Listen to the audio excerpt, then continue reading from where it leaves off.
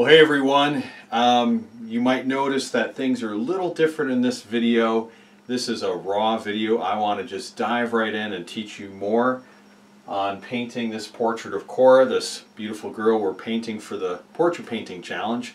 And this is raw. I'm just going to basically do this video without any editing, uh, without any fancy subtitles or um, you know cropping of, of when I zoom the camera in and out. Uh, we're just going to keep this uh, pretty fresh and uh, that way it's going to, you know, I won't have to spend so much time on the editing part. I can just concentrate on sharing the techniques to help you paint a portrait you can be proud of. Sound good? So that's what we're going to do here and it'll take, now we'll spend about a half an hour or so um, just showing you some more things here. I, I, honestly, I really want you to be able to get this technique. Um, I've seen some people struggling in the Facebook group. Um, and I, of course, I understand it's your first time portrait painting, many of you. And uh, it, it's a challenge. You know, it's a challenge to learn this, this new technique of, of glazing and, you know, getting the right mixtures of uh, pigment to matte medium and knowing what colors to use. And then what happens if things are blotchy. Um, I really want to help you with that. So um, I'm just going to do this uh, raw video here for about a half an hour and uh, just make that available to you here. I hope you enjoy. Um, and then also to let you know, um, there's a Facebook Live training, a Facebook Live class that I'll be doing um, 10 o'clock a.m. Central Standard Time on Monday, May the 3rd. So if you're seeing this past that point, you missed it. But uh, if you're watching this um, ahead of that, you can catch that live uh, class that I'll be doing uh, basically, it's called What Next, and we're just going to be doing some questions and answers, um, me doing some demonstrations to help you when you feel stuck in your portrait painting, specifically with the one we're working on here. So you'll want to check that out in the uh, Realistic Acrylic Portraits Facebook group. If you're signed up for the challenge, you know, you have a link to that group. Uh, go ahead and sign up for the challenge if you haven't done that, because then I'll send you all the good stuff like the reference photo, uh, the, the with the grid on it and the palette layout guide, the supplies list, everything you need to paint along with us. Um, anyway, so I don't want to take too much time here talking about that, but, but join that uh, and, and I'm sure you're going to benefit from that, being able to do the uh, live questions and answers and getting the help you need to finish your portrait well. But let's dive in here with a word of prayer and then we're going to get started. Father, I ask a blessing here. Help me to just continue to teach how to paint this portrait well. And I really pray for the students that are, you know, uh, they're just struggling with the portrait painting process. Uh, it, it's important, you know, to be able to use this gift you've given us. And uh, so many different dreams and aspirations of doing commission portraits, of uh, doing, uh, you know, paintings of, of grandchildren, um, putting their work in galleries, uh, just doing portraits that would encourage others and and capture special moments for people. I mean, so many different goals. Lord, I pray you bless each and every student watching, but especially those that are feeling uh, a little overwhelmed or unsure or stuck. I pray that this would give them extra clarity, extra help. Bless them, Lord. Bless this session here in Jesus' name. Amen. All right, so I've got my palette with some fresh matte medium on it.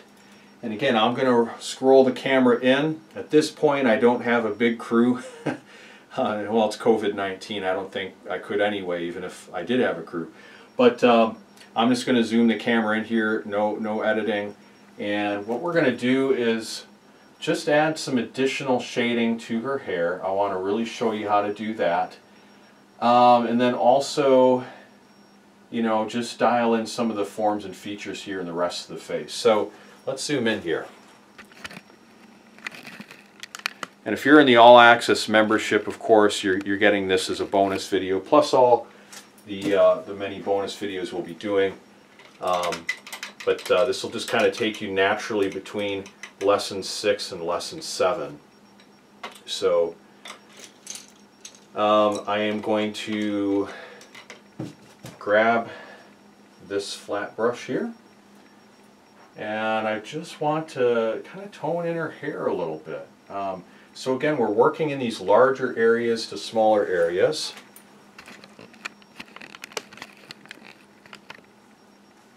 And we're going to take some Raw Umber Dark, of course, my favorite color. Now, I think you can see this here on the palette, and I really want to show you what's going on. Alright, so we just take that little bit here we have the matte medium right there, and we're just going to brush that in. You know, just really you have to use a lot of pressure to get that off your bristles and get it swirled into the matte medium. Almost tap it in. Um, and that way you won't have streakiness. Now we also want to grab some burnt sienna. Alright, so here's the mixture that we've got going on for that.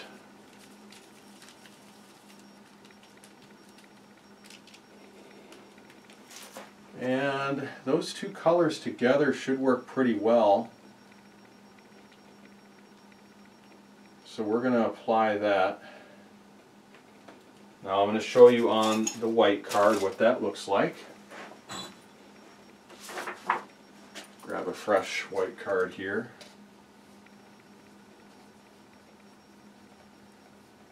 And that's what it looks like. So it's still pretty translucent. And again, we want to think of the concept here of filling in this entire area. All right, we're going to fill in this entire area here.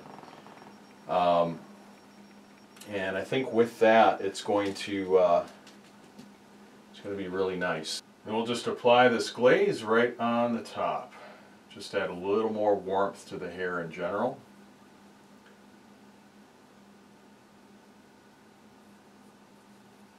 So it just go, goes over the whole thing and it's just going to basically extend a little bit past that part in her hair and then it's going to go over the side. We want to make sure we extend that warmth everywhere, even down to these little locks on the side.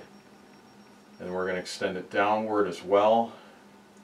I'm to, going to use the tip of my brush and I'm going to bring some of that color into this little this little lock on the side here, that little strand that's kind of floating over on her neck. Now we flow this color down into the hair flowing over her back and then across her, well her shoulder first and then lower back.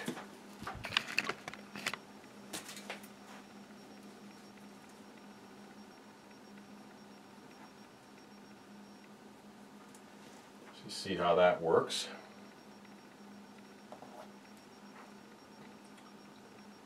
And let's take this same glaze and just yeah, add a little bit of that to her forehead. I'm going to thin it out though. Okay, that was a little harsh. A little too strong. Let's thin it out with some matte medium.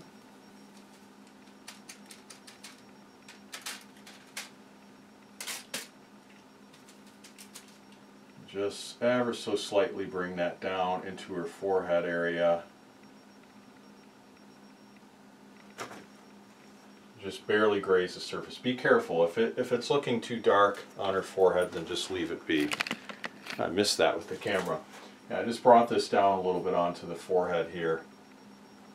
Um, just to get that slight bit of the turn of form where you can see there's a little more of a highlight right there.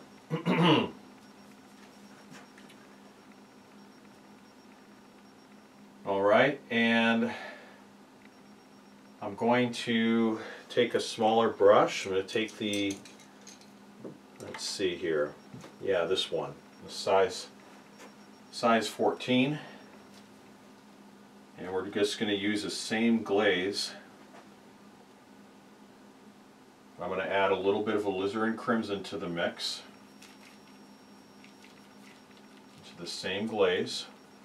Let's show you what's going on here. So a little bit of alizarin crimson, and we just work that in. Really get a nice even distribution of the colors. So that would be alizarin crimson plus raw umber dark and burnt sienna.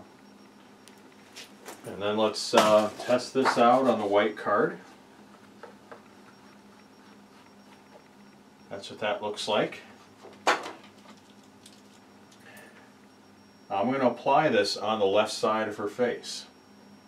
We need to get some more reddish tints to that side, that's important. I'm going to bring it up about this far because up here on the forehead it's a cooler tint.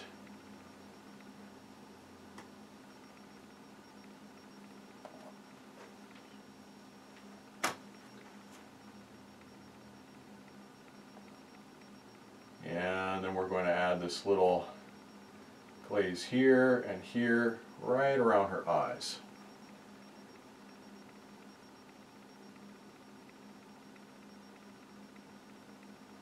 And I just put a little bit down here on the lower part of her cheek and chin area. And even just put a little bit here. Just a little bit here under her lip area. So this is a challenging painting because we have all these nuances we're trying to achieve, but you know, her skin has to look so smooth. So if you're painting, um, you know, if you're painting like we did the Larry portrait, if you guys remember the Larry portrait, um, he had, obviously he was much older, you know, a, a middle-aged or, or, older man. And so there are a lot of angles on his face. Um, totally different thing though when you're painting a little girl and you have to get that really smooth gradation. So this is a challenge, um, and I just encourage you to stick with the process even though you might be hitting some roadblocks. Um, the paint is not doing quite what you want it to do. Maybe it's setting up a little fast, it's getting blotchy. But if you stick with it, don't give up, you'll be able to paint a portrait um, really that you probably would be surprised you were able to do. And so I'd really encourage you just to stay with the lessons here um, and, and I'm going to continue to show you as much as I can. Now, um, at this stage, what we want to do is work into the background a bit more, so let's darken that. Zoom out just a bit.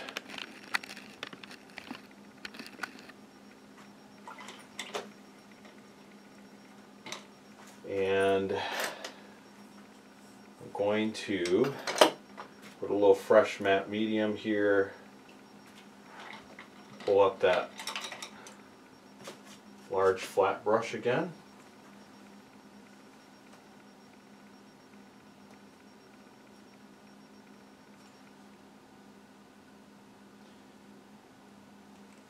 let's take some uh, ultramarine blue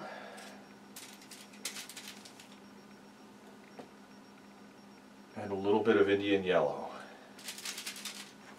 We're going to mix these two together. A little more ultramarine blue in the mix this time. Make sure I have that on camera.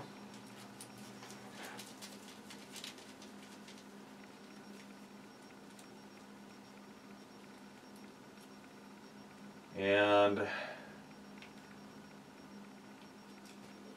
mostly ultramarine blue at this point. So you have to make sure that the mixture doesn't get too vibrant. If you have too much Indian yellow on it, it's it, it, you might have a really yellow background and I don't want you to get scared by that. But here, let's take the white card and this is what it would look like. It's kind of a hunter green. You see that? It's uh, not too scary. And when that goes on there, that's going to look really nice. So so let's do that. It's got to be pretty translucent. Don't go too dark at this point. You know, really try to make it look like I have it here on the white card.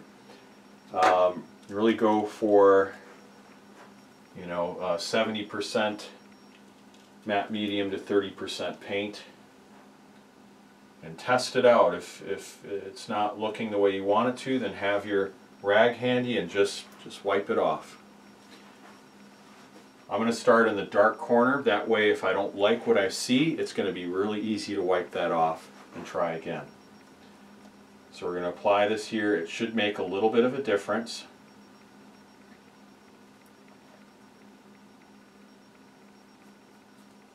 And we're going to try to do some brush strokes in different directions. Most of mine have been vertical to this point. Let's do some uh, horizontal brush strokes. Sometimes you have to start it vertically, but it's the finishing brush strokes that count. Try to get it up to the edge of her clothing as much as possible without going over. Okay, now we're going to finish off with some brush strokes going horizontally, but you can have them at slight angles. It, it makes it look more random that way. It gives it more of a, a painterly feel. So I don't just go straight across. I do kind of have some slight angles here. Always keep that wet edge. Alright, so I apply it vertically and I go across horizontally.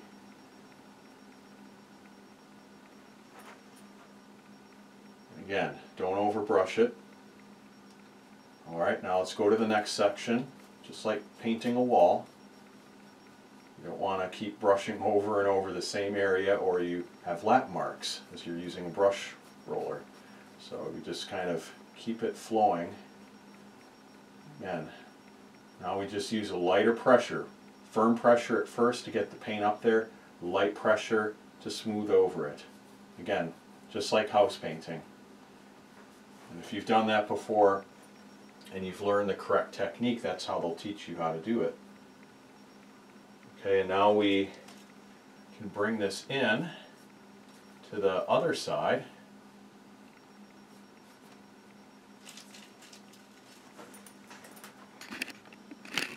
Now we'll just uh, kind of show you the, the brushwork a little more. Okay, so again, different brush strokes, vertically, horizontally, slightly diagonally, going vertically, finishing up with these crisscross horizontal diagonal strokes. Notice the angles, they're not at 45 degrees, they're probably more at about 20 to 30 degrees on each angle. Vertically, and then diagonally horizontally. That gives us a nice even distribution of paint. So now we have a really strong green color in the background and you know, arguably it might be a little stronger than what we want but um, that's okay because it's much easier to tone down luminosity than add it in. So if I want to tone it down I just lay off of using um, Indian yellow in the mix for the next glaze. It uh, gives it a little bit of warmth. Okay let's zoom out that's what we have right now. And let's see, how are we doing with time? I can I can show you a little bit more here. Um, let's let's work on the lace, but before we do that, I want to define this edge of uh, the background against her clothing and her arm. I'll show you that. Let's just kind of zoom in down here some people in the Facebook group have asked uh, when I'm going to paint the skin tone for that area, and not yet. I, have been holding off on that, and there's a reason why. And the reason why is because if you look at the reference photo, the value for her arm is lighter than the background. And if I add the color to her arm before the background gets dark enough, it's going to throw off the value structure in the painting. And I'm always giving value, that is that range from light and dark, more importance than color.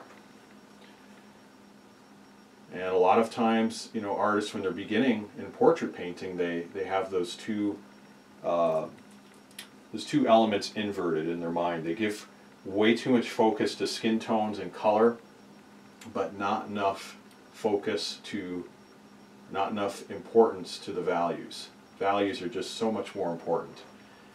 So that's why I'm leaving this area. if you can see that. That's why I'm leaving this area here. It's gray right now, but I've just, at this point, I think gotten the, the values in the background dark enough that I can now um, add some of the skin tone color in because now I know that that color here on her arm is not going to compete with the value of this. Does that make sense? So, so this is going to be um, a little bit lighter, and uh, that's that's how it needs to look. So, the other thing to keep in mind too is the color of that skin tone will not be nearly as intense as what's up on her face. It's darker. It's um, down towards the bottom of the image. It's not spotlighted. It's going to be almost grayish. It'll just be a warm gray color. That's it. Okay, let's do some work on the lace with the time we have left. Maybe about uh, five to ten more minutes. And we're just going to move this up a bit.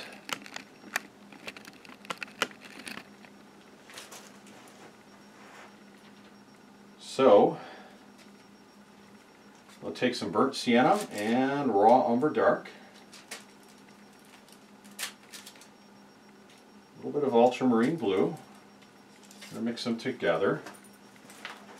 I'll show you the color that I have going on here. There's many different mixtures you can use to achieve the same result, by the way. Just like, you know, I, well, I hate to use this metaphor because this is not really recipes per se, but, uh, you know, when you're making an apple pie, there's many different ways you can do it, right? I mean, you can use cinnamon, you can use cinnamon and nutmeg, you can use cinnamon, nutmeg, um, and cloves, you can use allspice. I mean, so many different kinds of flavors you can use, different seasonings, spices to put in there. Um, so there's, there's different colors you can choose on your palette here to arrive at that same mixture. So, it's uh, like that in a lot of areas of life. Not all areas, though. In some areas of life, uh, you, you can only take one road to get to a certain destination. You know, just like with eternity, you can only take the road of Jesus Christ to get to heaven. But in this aspect here, many different colors can get you the same mixture on your palette. And um, I'm going to just kind of work into her skin tone, or sorry, not the skin tones, but the skin tones behind the lace. Let's make sure I have the camera where it needs to be. And uh, we're going to just fill it in a little bit on the side. I need some more red, so I'm going to take just a bit of alizarin crimson, put that into the mix. Let's show you on the white card what this looks like. It's actually pretty dark. All right, so we're maybe almost 50%, not quite 50% opaque. I would say maybe 60% uh, matte medium, 40% pigment. Um, it's, it's pretty dark, but when I give those ratios out, I mean, it's not an exact, it's not an exact amount. I'm just estimating. Really, what you want to do is you want to base it off of what the glaze looks like on the white card. All right, so it should, it should really look like this, but it, you can see it is pretty dark.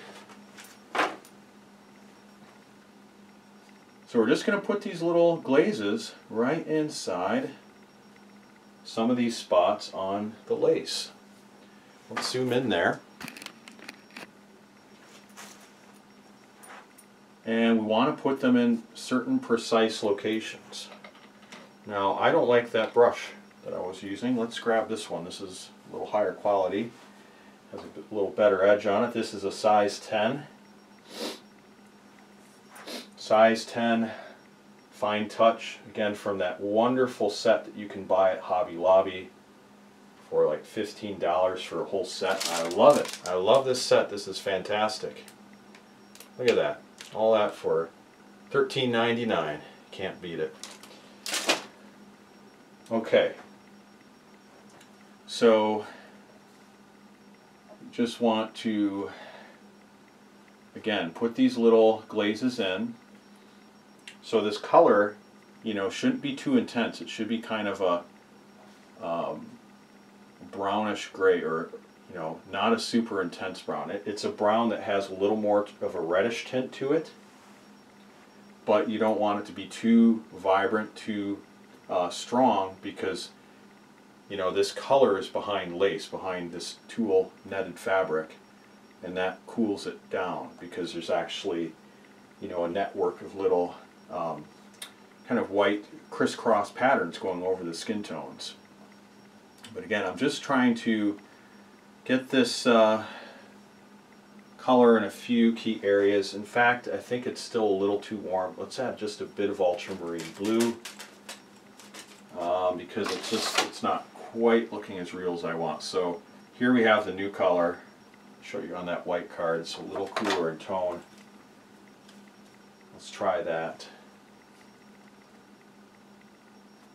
It's a little closer. Try to get something in between the two. Let's try this. Okay, that's better.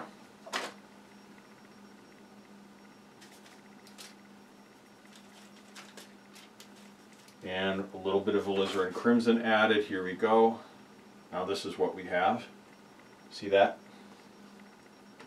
So this is the newest color. I, I do try a lot of different mixes and I I don't want to you know just gloss over this so you can see it here again this is the first try second try third try and then this is what I'm going to use right there see it's like this one up here but it's just a little bit cooler in tone just a little bit cooler in tone less less chromatic intensity has that reddish tint but it's you know, a little more to the grayish side. So let's let's try that. Not afraid of uh, trying a lot of times before I get it right. And even then, it's not to say I have it absolutely perfect. That's okay because I have more opportunities to add more glazes to get this closer to perfection. And I'm not saying I'm going to achieve perfection, but I am aiming for it. Um, now, I'm going to just add these little pockets of color. Really try to get these different effects here. So I have to make sure I keep this within the camera. Down here, this should be a little bit darker. That fabric is folded in just a bit.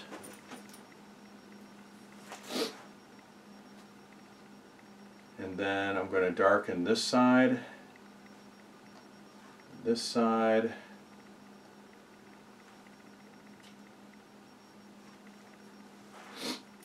Now I'm not going to do these glazes up on top. Alright, so right here, again we have some fabric there. It's maybe an undershirt, but because of that you're not seeing her skin tones through there, so therefore that has to be gray. So I'm not putting this color in there. I'm just putting it below this line.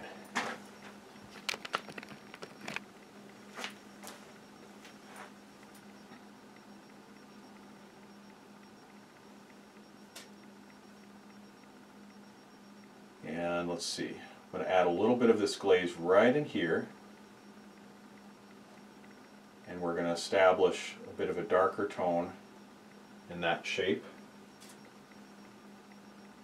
Eventually I can refine some of these shapes. I did sketch it pretty loosely, but I'll be able to add in the precise forms as I go along here, as I paint.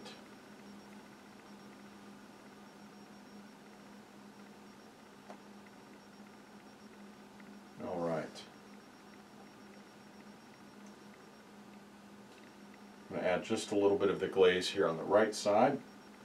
As I can see that needs to be darker. Right there.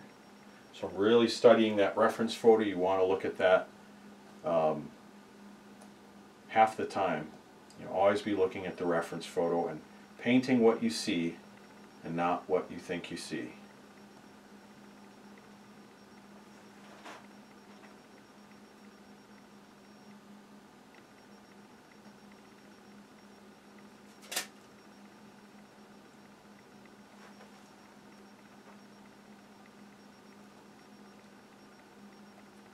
Right.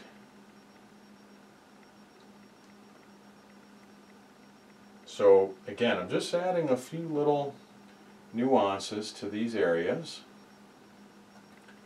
So some, some of the areas are darker than others. So if I can just pass one bit of knowledge on to you, don't make the mistake of shading in all these areas here at the same level of darkness. I'm intentionally I did do that initially, but I'm going on top and putting some little dark pockets here, there, and some key areas. Not just where I feel like doing it, but according to what the reference photo tells me to do. What I see in the reference photo as looking uh, darker in certain spots. And that's going to give it nuance. What it's going to do is it's going to portray the idea of the fabric in areas being wrinkled and the farther it, away it is from her skin and depending on how the light shines on it some areas are going to be very light but the areas that are closer to her skin and then where there's some uh, wrinkles that are kind of turned away from the light source those will be much darker but again I'm just following what I see in the reference photo and uh, you know guiding you to do the same thing so that's where we're going to stop right now. Just zoom out and so you know we did a little more work here in a half an hour and again this was just a raw session just to um, help you out. I want to make sure that you have as much instruction as you, you can to be able to paint this portrait successfully. Now in the All Access membership there are a lot of bonus videos I'm uploading there um, so again I'm not going to be able to show the entire process here on YouTube. It's just way too many videos to put here on YouTube. Um, but uh, in the All Access membership, um, like I said, you will be able to see basically the entire process. You know, this could take 20 to 30 hours, I'm estimating, to paint this portrait. Um, and I think pretty much every minute of the painting process will be there in the All Access membership. But I want to help you as much as I can here by, by doing this additional uh, raw video. Again, there's nothing fancy, no music, no subtitles. I hope this has been of a help to you. If you like this video, if you found it helpful, give it a thumbs up. Subscribe to this channel for more videos like this. Many of you that are watching are already signed up for the Portrait Painting Challenge. Again, I want to say thank you. Thank you for taking uh, your time uh, and trusting me to teach you to paint a portrait means a lot to me. Thank you for all of your encouragement in the Facebook group, via email, in the comments here. Um, and I just really, really want to see you paint a portrait that you can be proud of. And then when you do it one time, I know you can do it again and again and again, and your skills are going to just keep elevating. And uh, it, it could take you to many different places, doing commissioned portraits, portraits of your grandchildren that you can give as beautiful gifts, um, painting portraits of renowned people, um, you know, maybe that you would end up showing in a, in a gallery or an art show, or just painting for the sheer joy of it, which is a worthy goal in and of itself. Whatever the case is, thank you so much for watching. God bless. See you in the next lesson. Okay, so that will be um, lesson number seven coming out very soon, uh, which will be next week. And, and then, of course, don't miss the Facebook Live session where I'll be doing some more uh, painting like this, showing you how to overcome some struggles in your painting, answering questions, demonstrating, you know, as you ask your questions, I'll, I'll show you how to do it. Um, so that'll be coming up on May 3rd at 10 a.m. Central Standard Time as I'm recording this video. So anyway, thank you so much. God bless. We'll see you in the next video.